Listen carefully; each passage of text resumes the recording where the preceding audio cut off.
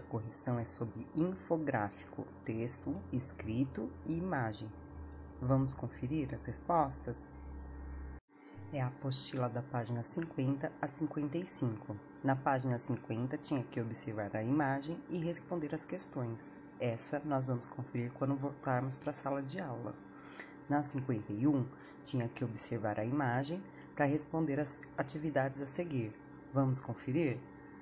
Na página 52, no exercício 2, fala: Após observar o texto, sem lê-lo atentamente, é possível dizer qual é o assunto do infográfico? 3. Qual é a imagem que mais chama a atenção? Por quê? 4. Qual a parte do texto você leu primeiro? 5. Que relação você percebeu entre os textos e as imagens? Explique. 6.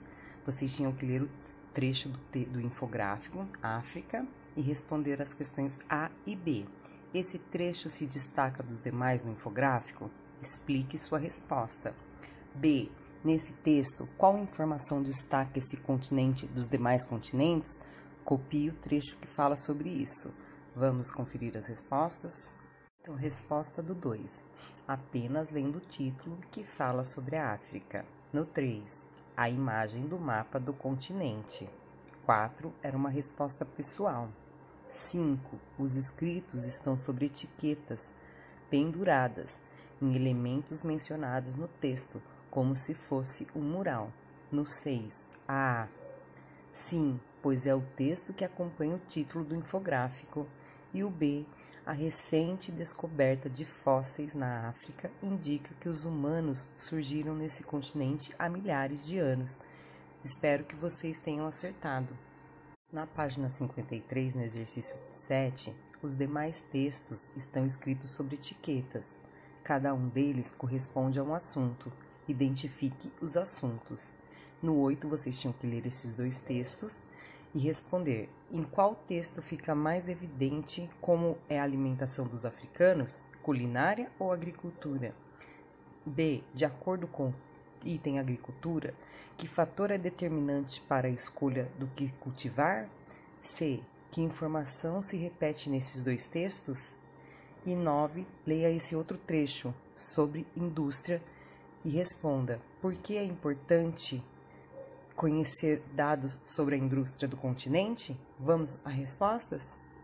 Na questão 7, os assuntos são culinária, música, vida selvagem, indústria, paisagem e turismo.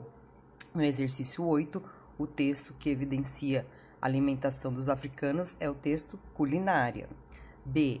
De acordo com o item, o fator determinante para a escolha do que cultivar é o clima. E no C, quais são as informações que se repete? É o cultivo doméstico de alimentos para vender em feiras. E por que, que é importante conhecer sobre a indústria do continente no exercício 9? Porque esses dados da indústria revelam as principais riquezas do continente. Espero que vocês tenham acertado, hein? Vamos para as próximas questões? No exercício 10 da página 54, vocês tinham que ler novamente dois textos e depois responder as questões A e B. No exercício 11, mais dois textos sobre paisagem e música e ficou uma questão, ó, para você, qual desses dois textos gerou mais interesse e por quê? Né? Essa aí é uma resposta pessoal que quando a gente voltar para a sala, nós vamos estar conferindo juntinhos. Vamos à resposta da 10? No exercício 10, a resposta da A, a relação é que a vida selvagem atrai muitos turistas, os quais embarcam em safaris e no B, outro ponto importante do turismo era as pirâmides do Egito. Vocês acertaram as respostas? Muito bom! Na página 55, os exercícios 12 e 13 são respostas pessoais. Esses, quando voltar para a sala de aula, nós vamos conferir. E a atividade que era para fazer um infográfico, esse também. Quando voltarmos para a escola, iremos conferir os trabalhos feitos, ok? Espero que vocês tenham acertado todas as respostas, hein? Agora, a correção é sobre numeral, nas páginas 58 e 59. Vamos lá? Numeral. Então, no exercício 6, vocês tinham que reler as frases do infográfico. Então, no exercício 6, vocês tinham que reler uma frase do infográfico e comparar com a reescrita em que os números foram substituídos por algarismos e responder por que, nesse caso, para representar quantidade, a opção do autor foi por algarismos e não por numerais? E explicar a sua resposta. Vamos lá ver quem acertou? Então vamos lá. Porque os numerais tornam o texto mais longo e os algarismos facilitam a leitura da informação. Você também chegou a essa conclusão? Na página 59, no exercício 7, vocês tinham que relacionar as cenas conforme a função dos numerais presentes nos textos das falas. Então, A para indicar quantidade, B indicar a ordem em uma sequência, C indicar multiplicação e D indicar fração. Vamos ver quem acertou? Nas duas primeiras falas, elas estão conversando e uma fala para outra. Eu tenho três filhotes. E você? Eu só tenho dois, o Pedro e o Marcelo. Qual resposta você acha que é? Acertou quem colocou o A, de indicar quantidade. Na próxima fala: Ah, então você é a mãe do Marcelo? Ele é meu segundo filho. E nessa fala, qual você acha que é? Ah, quem colocou B acertou, que é indicar a ordem em uma sequência. Vamos para as próximas falas? Os dois menininhos estão conversando e um fala para o outro: Você tem amigos? O outro responde: Eu tenho muitos bons amigos. A metade deles mora no meu bairro. Que resposta você colocou? Isso é o D, de indicar fração. Na próxima fala: E você fez muitos amigos nessa escola? Tenho o dobro de amigos do que tinha na outra escola. Que resposta você colocou? Isso, muito bem, é o C, de indicar multiplicação. Agora vamos para as duas últimas falas. Tem um grupo de crianças e dois meninos resolvem conversar. No ano passado, nossa turma ficou em segundo lugar. Será que neste ano ficaremos em primeiro? Qual é a resposta que você colocou? Muito bem, o B, de indicar a ordem em uma sequência. Aí na próxima fala, temos ainda dois jogos pela frente. Um deles será na nossa escola. Qual resposta você colocou? Acertou novamente. É o A, de indicar quantidade. Estão todos de parabéns. Agora, a correção é palavras com SS, S e C cedilha. Vamos lá? A correção é da apostila das páginas 60 e 61. Vamos conferir? No exercício 8, vocês tinham que reler as palavras do infográfico e observar as letras em destaque e responder o que há de semelhante entre as letras destacadas. No 9, ler as palavras do quadro e responder. A.